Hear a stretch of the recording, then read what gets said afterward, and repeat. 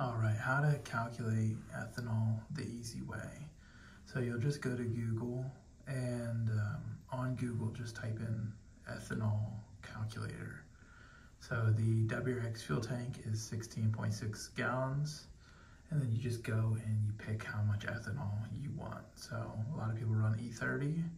So for E30, it's 4.4. Uh, really, I just do like 4.5. It doesn't have to be perfect, but 4.5, and you just fill the rest up of uh, 93. Of course, if you have um, not a full tank, you can change this, but I normally recommend running the tank down to almost dry and change it. For me, I'm on E50, so I just click E50, and then this is gonna be 8.885. Uh, for me, I'll just do nine gallons just so it's, you know, it's easy. Do nine gallons and I fill up the rest on 93.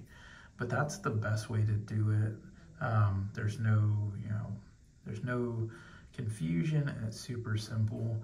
Um, I always run the tank down, but if you didn't, let's say you have a, you know, half of a tank, if you do a little bit of extra ethanol, you're gonna be fine. Um, so let's just say hypothetically you do half, say 8.3, and then same thing, you know, you want the E30 mix. So you're just gonna do half of a tank and just says 2.2. So, you know, if, I, if my gauge is looking about half, I'm probably just gonna put 2.5 and put a little extra in there. And then you just get a higher octane rating. It's not gonna affect anything. It's not gonna throw your tune off.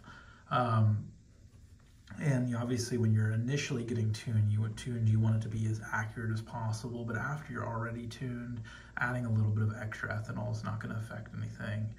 Um, so that, that's the best way to do it. So if you have any questions just let me know. I've been running ethanol in my vehicles for years um, with no issues